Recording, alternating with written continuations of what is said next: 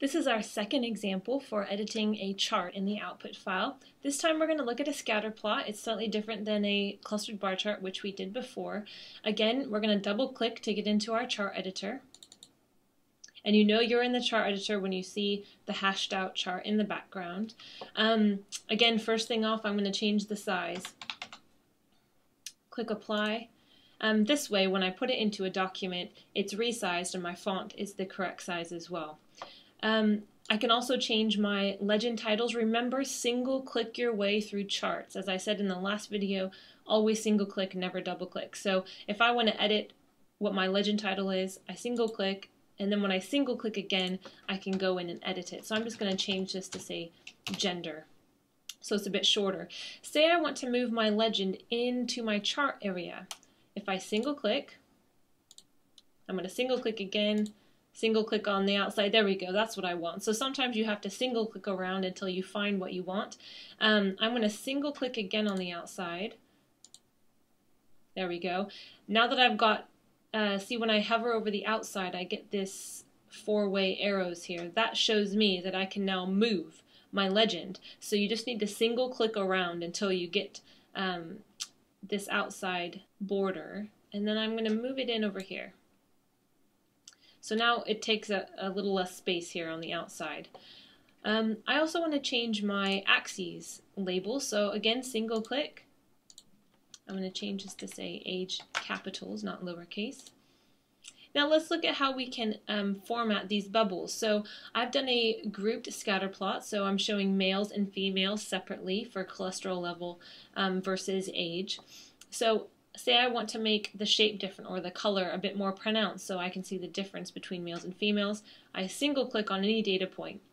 This highlights all of them. Now say I want to change males, they're blue, so I need to single click on a blue dot.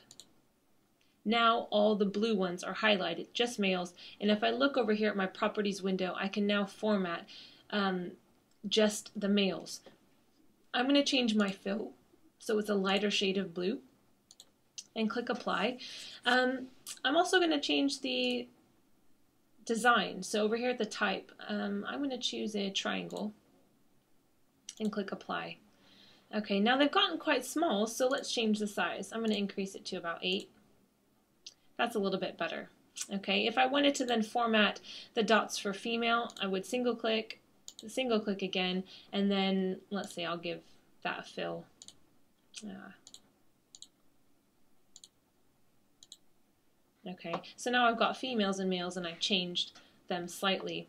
Um, just as before, you if you single click on the axes, you can change the minimum and preferred size for your font. Remember the minimum size is the smallest the font will get as you shrink the size of your chart and the preferred size is the size SPSS will try and make it until your chart gets too small and it has to move to the minimum size and you can also change your font type. So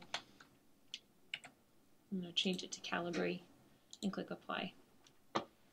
Okay, you can also change the scales to the min-max points for both axes. Remember, just single click on the axes and then that will change. If your properties window gets closed, remember you can open it again using the properties icon up here at the top. Um, also, say you're doing a regression analysis, and this is a scatter plot for that regression, so maybe you're regressing males and females separately. Um, you can actually add your fit lines. Now you can't see that very well. Let's see if I can try again. Um, up here at the top, you can add a fit line for the subgroups. So that means a fit line separately for males and females. You only do a fit line for subgroups if you're doing two separate regressions, one for male, one for female. If you're doing one regression model with gender as a variable, then you would just want one fit line for the total and that gives me a fit line across there. Um, remember, don't just do a, fit line just for the sake of doing one. Only do it if you're actually doing a regression and your data fit the assumption of, of a regression model.